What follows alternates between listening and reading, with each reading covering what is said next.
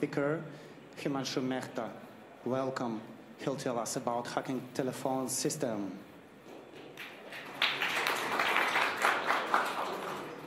Good afternoon, everyone. I didn't hear. Good afternoon, everyone. So, uh, today I'm going to present my topic on hacking telephone systems for fun and profit. Uh, I just want to mention one thing like, we found many security vulnerabilities in different PBX vendors and we have reported them back. So, lot of uh, some of the vendors fixed it, some of them did not. So, I am going to present only the security vulnerabilities which have been fixed by the vendor and uh, uh, I worked this along with one of my colleague called uh, Sachin Wag, and we also tried to explore different possibilities to get access to PBX systems using Shodan and Synsys. So we reported a lot of vendors, but you know some of them don't even care. They don't reply. So some of things are still open. You can go and try out. So let's start. So this is about myself. I am leading the security intelligence team at Symantec, India, and I am mentor of uh, at Niti Aayog, that is by Indian government. I am mentoring some of the schools, primary schools in India, and during my leisure time, I do bug hunting, pen testing, and s- some of my own security research. Apart from that, I have uh, spoken at several security conferences.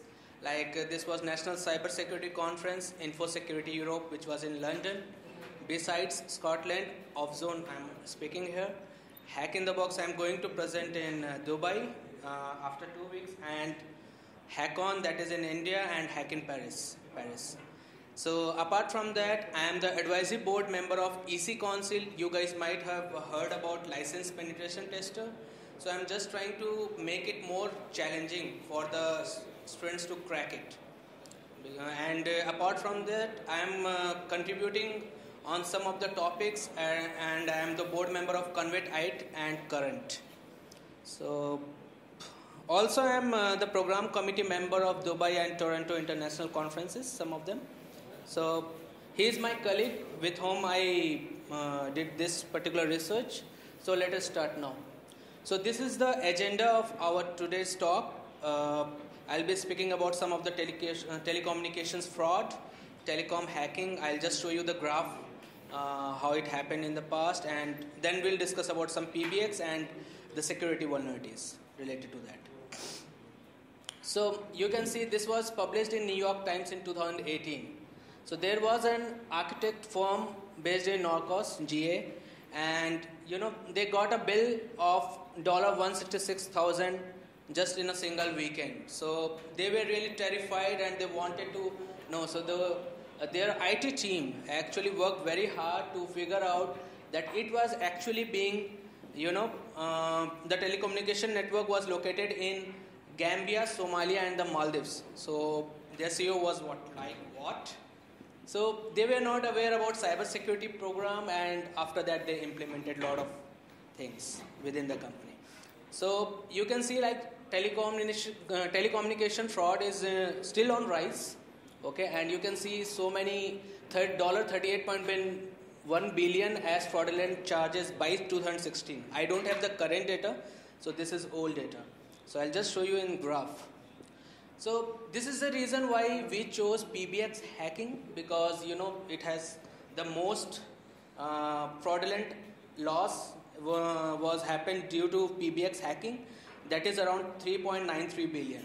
So after that you can uh, you can even explore some of the areas like IP PBX hacking that is VoIP which is second most uh, known frauds in USD billions.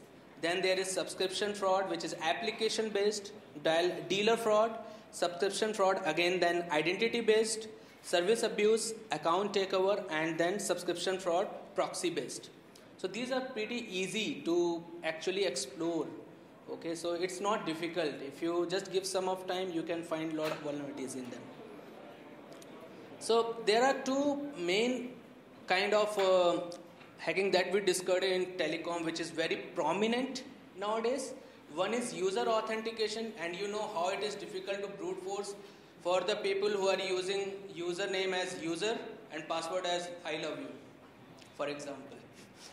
And then another one is SIP toll fraud.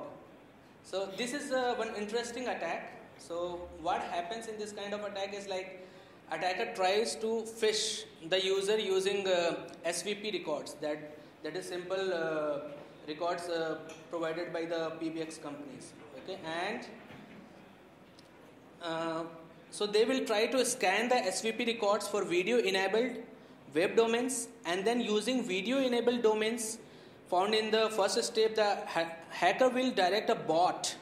They will create a bot to place an audio call to a known phone number. So this is the way they try to do SIP toll fraud and it's really difficult to trace back. Okay.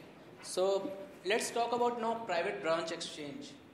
So you know PBX it stands for private branch exchange. It is mainly used for incoming and outgoing calls within the company organization. So they use for internal communication as well as external communication.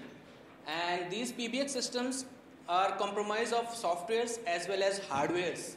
And uh, you will see that those will be connected to the communication devices like routers switches or, and obviously the telephone systems. So it's in all the organization. In any organization you are working or whether it is government organization you will see the pbx systems everywhere okay. Some of the common features uh, in pbx i'll not discuss in details. Uh, i'll just uh, you can go through that. Call forwarding transfer conference calls which is uh, happening every day in the organizations.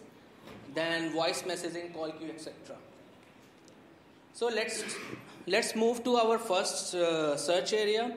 So we started with shodan search. You you might have already aware about this particular search engine okay so it is a search engine that let the users find a specific type of devices connected to the in, internet. So what we found so we tried to search for this ncs software exon virtual pbx we just took random uh, pbx names okay? So this was one of the ncs software exon virtual pbx and you can see like top countries like united states we it, the result is showing 11 11 which is actually open and we can see go and explore. Okay then there is iran philippines serbia and etc then you can see the top services that they are using. First one is sip sip is very common nowadays. And uh, there are some top organizations. So even you can go and explore like you can click on that particular ip address and sometimes you can even get to their admin console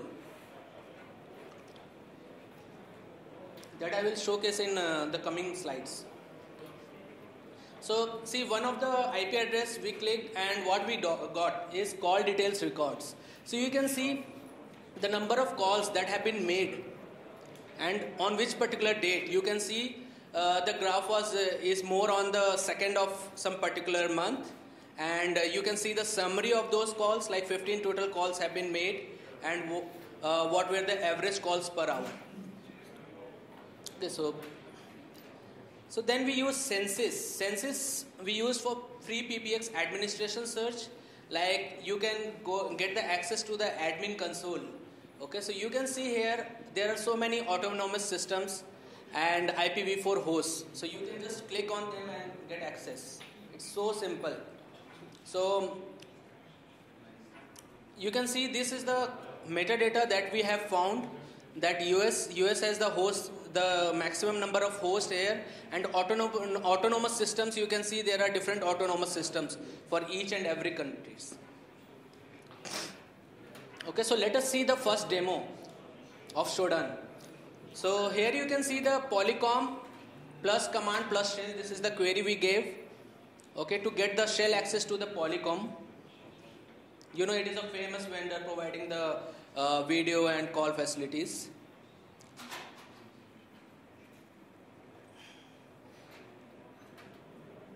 So I will just click on random IP address and voila. You can see what are the ports that are open on that particular IP address.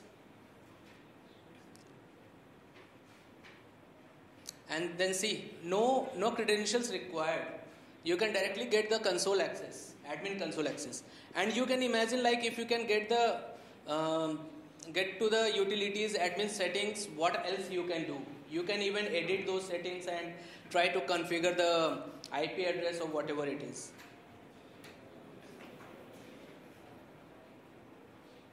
Yeah. So while doing our research, we also configure. Uh, we also figured out that FTP was very prone. So we tried to get access to some of the FTP using FTP ports. Like this is the pbx underscore test dot txt. This is a malware file created by us, and then we try to upload this on particular website. Okay, just to test like whether it does perform the job or not. We were successful in getting the access and by that we got the call details record so and you will be really surprised how easy it is to get the call details and you can listen to those calls. Like some of the calls were in some different language that we cannot interpret and we are trying to decrypt that. But uh, some of the calls were about discussing about their uh, you know usernames uh, ids and some passwords resetting and sometimes the, even the credit card details. So you know what else you can do with this particular information. So we also try to explore more SMB. Okay. So we here in this particular slide we are trying to access the SMB share with anonymous login. Okay. And uh, you can listen uh, in this particular thing also like people talking about their credential information. So this is very important slide for us and this is the folder that we got access audio records you can go and see each and every day you will find many uh, audio records. Like companies are keeping the records whatever you are making calls from the organization. So and while w- working across this particular topic we came across this Shodan you can go and try out. This is still active. So if you go uh, do this like you can easily get access through port 23 and the gateway is through password. Okay, so those are uh, default credentials and you can get to the admin console using these also. So let's talk about soft phone. It is very important to understand soft phone to further discuss, uh, understand the topic. So soft phone is nothing but a piece of software that allows the user to make telephone calls over the internet. I'll just give the simple definition. Okay, so let's discuss about the vulnerabilities that we found and have been passed by the vendor. They have also received the CV numbers so you can go and explore. So we tried on different uh, PBX vendors. So first one is Trixbox. Just give me a second.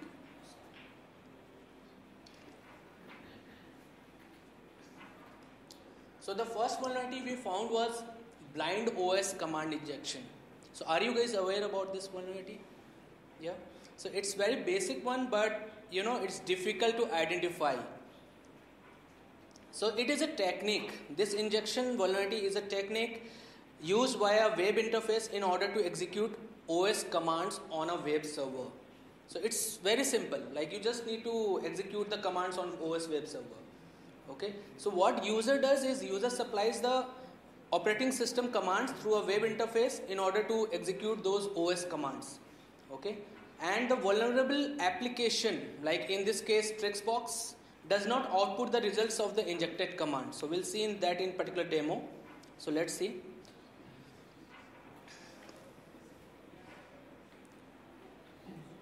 So this is the Kali Linux and uh, we are just trying to get the internal IP address.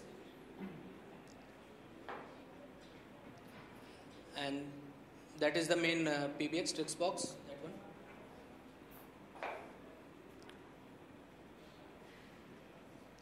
We are using Burp Suite to intercept the traffic.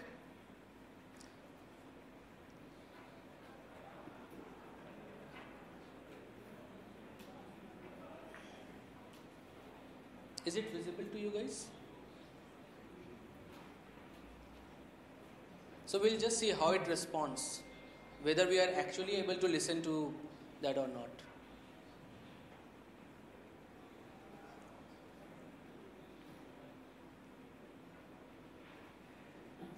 So see, I have given the Kali Linux internal IP address.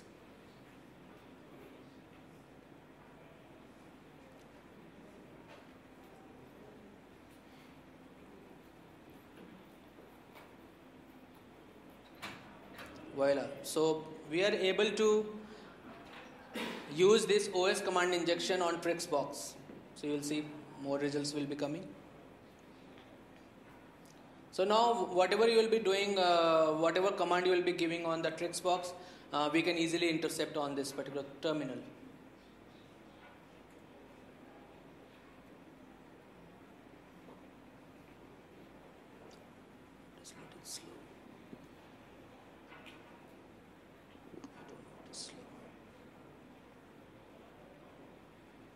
Okay, I think this is stuck. This is GIF.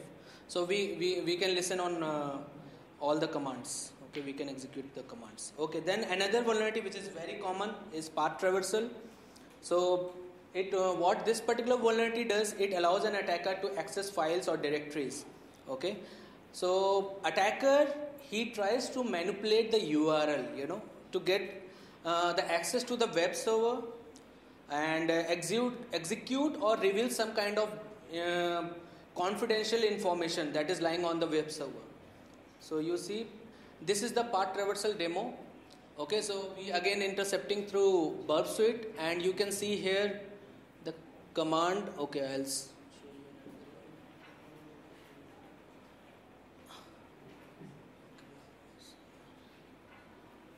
So you can see here, okay, the particular, uh, this is the ID and uh, this is the Ajax R, Ajax argument, whatever you can intercept here. Okay, so we are trying to execute this part traversal here. You can see percentage ampersand 2t, ampersand 2t, like that. We are trying to manipulate. So this is the, this is the affected parameter, okay. So you can see like uh, we are getting access to sorry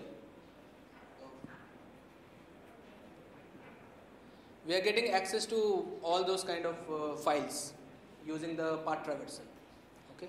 And then this is the favorite one for all the bug hunters. So XSS is everywhere nowhere no matter how many times the vendor tries to protect it but you will eventually find it figure it out.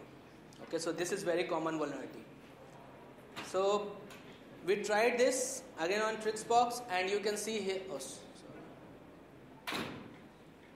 so you can see here the affected parameter and we are trying to inject our query over here okay? So another PBX we explored is Axon. Okay? Here also this is the first thing that we always try. You can see the cross-site scripting we tried on auto dialer. Okay? So this was the affected parameter.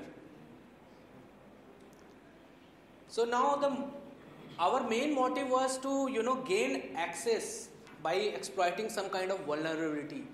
So you know the users might be running with default credentials, but that might not have the admin access. You know, so our main motto was to get the privileged access to that particular PBX. So we tried so many things, but we were not able to exploit it. But finally, we got one DLL injection vulnerability. Okay, you can see. I'll just show you the demo. First, this is the process monitor tool that is free by Microsoft. Okay, so what we are doing here is, um, you can see this particular. This is the PBX setup. Okay, so when you install any particular .exe file, it comes preloaded with the DLL libraries, that is dynamic link libraries. Okay, so using this process monitor tool, what we are trying to do is like we are trying to explore these DLL files. What are the DLL files that are being loaded from the default directories? Okay, so in this particular case, we just took the example of proxies.dll. Okay, so instead of the, uh, you can see here the proxies.dll you can explore if you try to find the library here. So instead of the original proxies.dll, we created our own malicious DLL. And uh, what that DLL was doing was able to execute the code and open the calculator. Himanshu, sorry, uh, can you speak in microphone? Oh, uh, sure, so sure. because the translation will work. Oh, sure, sure, sure. Thank you very much. Yeah. So you can see here we created the malicious DLL which was executing the code to open the calculator. Okay.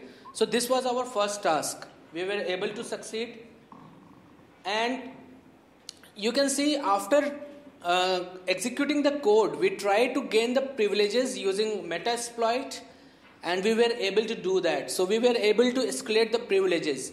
So if you are able to escalate the privileges, even if you have default user access within your organization or any other organization like partner organizations, you can imagine you can get the admin access also using these kind of vulnerabilities. So now the main question is whether you followed the mitigations or not. If you really follow the mitigations, yeah, you can have beer on the moon. Okay, but there will always be security vulnerabilities, but at least you can relax for some time. I'm not telling forever. Okay, so these are the particular mitigation techniques that we have suggested to few of the government uh, uh, throughout the world. Okay, and uh, we have reported these to several governments also. I cannot take the name here and uh, so the, these are the basic things which each and every organization should follow. So first thing is very important is policies and procedures. So you can see here like security training which is now the preliminary. Um, it is uh, very prominent in all the industries. Everybody needs to have this particular security training whether you are working in a security domain or you are developer or tester okay so this is the pre-requirement. And then there is a password policy. So many organizations will suggest you to change change your passwords frequently like every 6 months. But that is not uh, only the password policy that we should follow. We should also follow to you know try to keep the complex passwords instead of the simple ones that we are using everywhere. And it should be unique one each and every time. Then there should be incident response procedure so you might have seen the cases in the past about WannaCry ransomware. So if now all the companies are trying to have their incident response team, which is good for us as a security researchers, because if such kind of incidents come like WannaCry, there will be a team who can look after that particular incident. If there is no team, you can imagine the business get impacted for so many weeks. We don't know, and how many loss the company can incur. We also don't know about that. So another important thing is OS level security, that is the patches. That patches are recommended for operating system applications and services. Why services uh, we have included because nowadays most of the people are using cloud. Yeah, so they are using AWS, Azure, Google Cloud. So those web services are very important, play very important role. So we need to keep uh, important uh, we need to keep uh, watching our services whatever we are using whether it is getting access to some other different uh, resources or not. We have to keep a particular watch. And then privileges like uh, we showed the i showed the demo of that particular application.